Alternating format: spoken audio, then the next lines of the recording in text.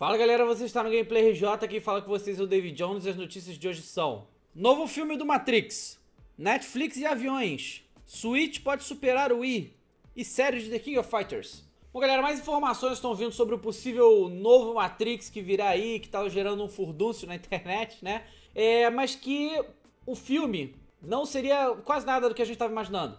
E aí eu não sei se é uma boa ideia.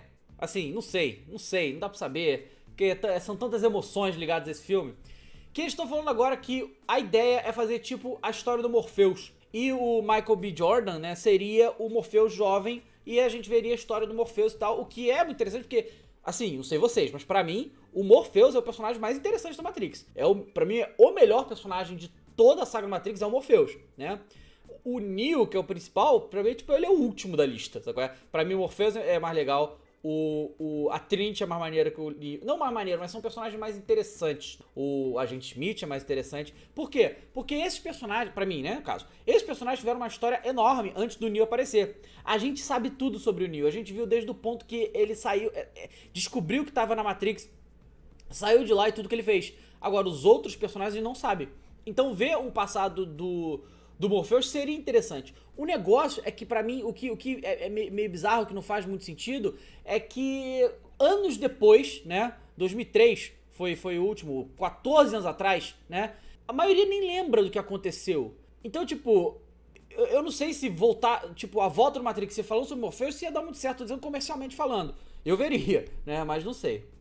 Bom, galera, o Netflix está né, planejando lançar uma nova. Eu, eu, não sei nem dizer o que, que é exatamente, só que o que, que o Netflix quer? O Netflix quer colocar os seus serviços em aviões e em hotéis pelo mundo inteiro. E eles falaram que o, a intenção deles não é dar custo adicional nenhum para o consumidor, é ser um serviço, um benefício a mais por utilizar o serviço daquele hotel ou daquela companhia aérea. Ele fala o seguinte: Não está, estamos fazendo isso com o meio de hotéis ganharem mais dinheiro sobre os clientes. Nossa intenção é que seja um benefício. Também estamos criando um que apaga contas utilizadas na plataforma assim que você deixar o hotel ou o avião.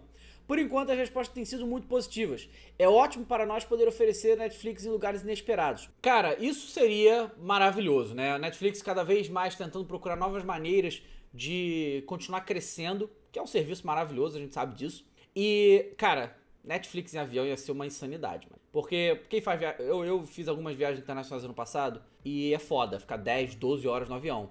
Se tivesse Netflix, ia passar muito mais fácil. Porque assim, avião até tem filmes, mas são poucos, são limitados. E aquele negócio, é só filme, você não, não tem muita variação. Quer dizer, tem até as séries, mas é muito pouquinho. Netflix, não, né? Netflix a gente tá acostumado, a gente conhece. Então imagina, você bota tua conta ali, depois ela é apagada, porra. Em hotel também. Hotel já devia ter, né? Em hotel já devia ter Netflix, mas isso aí é, é a questão dos hotéis mesmo querer botar, na, botar nas Smart TV o Netflix para você ver. Eu acho uma ideia excelente, tomara que aconteça. Bom, galera, a GameStop, grande varejista, a maior varejista de games do mundo, ela tá gostando muito do desempenho do Nintendo Switch em suas lojas. Ela comentou o seguinte: Nintendo Switch teve um lançamento que poderá até eclipsar o Wii. As vendas iniciais foram uma coisa fenomenal. Não posso dar números concretos, mas posso dizer que estamos assistindo os maiores lançamentos de jogos e acessórios para console, consoles que já vimos em muito tempo. Bom, galera, vocês sabem que o Wii é um dos consoles mais populares da história, vendeu mais de 100 milhões de unidades, né? E a GameStop, que tem um histórico, conhece bastante, está muito, muito, muito feliz em relação ao Switch. Isso é legal para Nintendo. Vamos ver se vai continuar, mas é aquele negócio, né? É, o Switch, é, assim, se tu vê as vendas do Switch no seu lançamento, elas vão bem e despencam. Por que que despencam? Porque acabou. A Nintendo não conseguiu repor os varejistas. Isso pra mim é tipo. É. loucura. Tá? Fabrica a porra do, do, do Switch, meu Deus. Bota nas lojas, gente. Tem gente querendo comprar, então vende, meu Deus. Bom, galera, pra finalizar, temos aí o SNK, né? A SNK revela que vai fazer uma série de The King of Fighters com 20 episódios em computação gráfica.